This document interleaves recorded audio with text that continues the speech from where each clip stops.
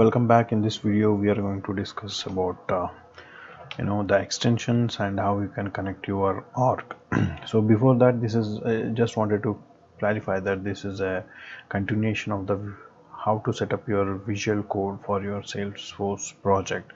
So if you have landed here directly in this video just you know check the i button. I have given a link of the playlist where you can start from the beginning to see how you can you know download install and then configure visual force for your salesforce project. Okay? So here let's continue with this one. So here I have created a project and I'll show you how to create this and how you can connect this with an org and how you can do like a, up you know check in check out and uh, deploy from here so stuff like that. So before that let's go to the extension here. And before you start there are some extensions that you need to install. So the first of all in the previous video we have you have you might have seen we have installed uh, svn uh, tortoise svn and uh, yeah those two.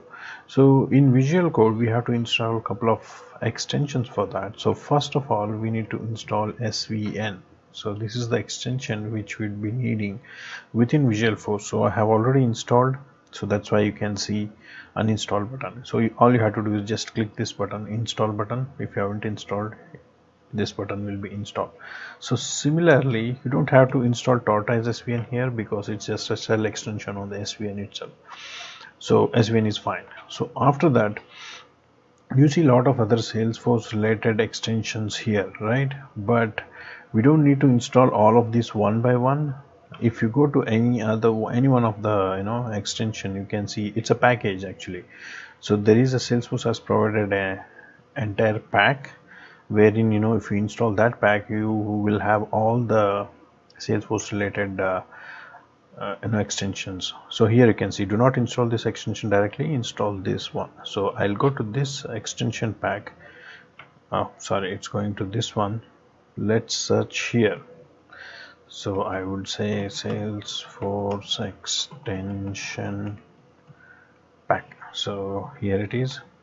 So I have installed that extension pack and it includes this Apex interactive debugger replay debugger and CLI this is also very one of the important thing uh, what I did is I installed the Salesforce CLI uh, directly downloading it from the Salesforce website and uh, installed it before this but it is not recommended because in this extension pack itself you have the CLI integration. So you can directly once you download this extension pack the CLI is also there as part of that.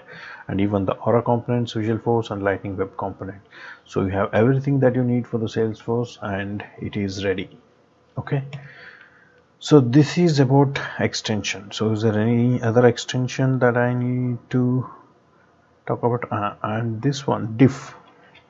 If you search for diff yeah this is one of the useful extension I would say because it will be useful for you to compare the two files what is the changes in your local and what is the changes local means your working copy. What is changes in your working copy and what is there in the org as well as what is there in the svn so this is one of the useful tool.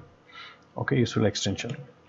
So now what we will do is we'll go ahead and create a project and connect that to an org.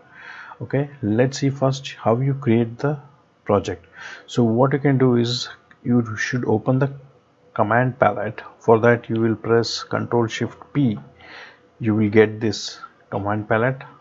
Alternatively you can go here and click the command palette here. So just remember memorize this control shift p which you will be using frequently. So once you come here you say create project and you select you can any of the type you can select I'll select standard and enter the project name. I would say SF bits project okay. So I'll give an alias name for this. And here I can select any project or create a new project. I would say I already created one. I would say new SF bits project. Okay. And I'll create a project. So it will open here. Once the project is created it is creating a project here. As you can see the status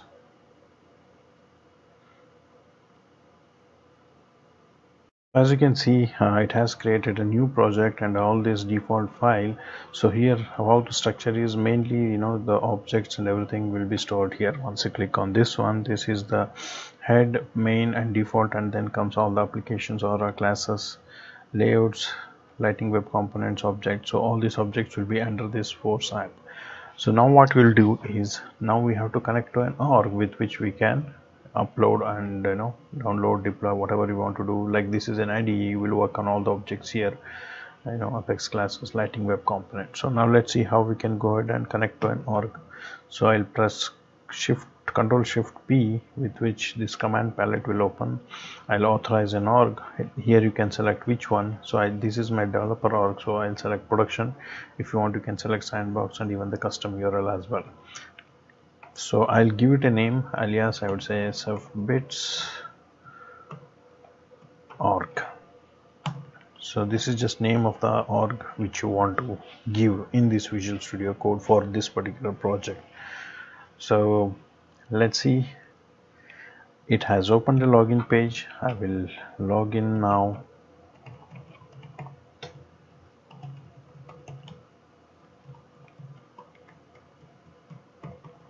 so it will send me a code. Your salesforce bits sorry. My bad.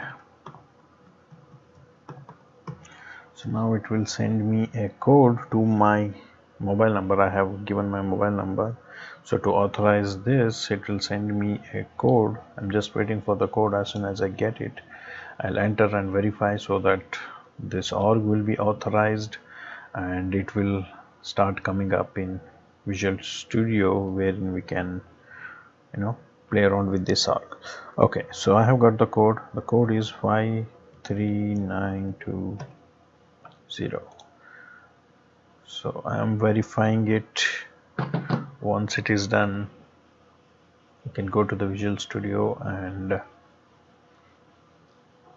let's see how it so it last Salesforce CLI is asking for this so I'm just giving it an access. It opens my application homepage so okay let's go back to the visual studio now. So it says SFDX author authorized and all successfully ran.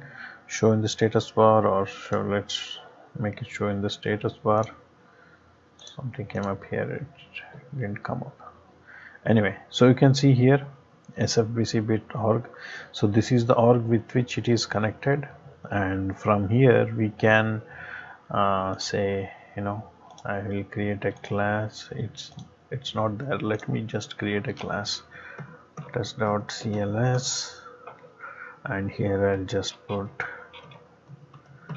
comments and save it.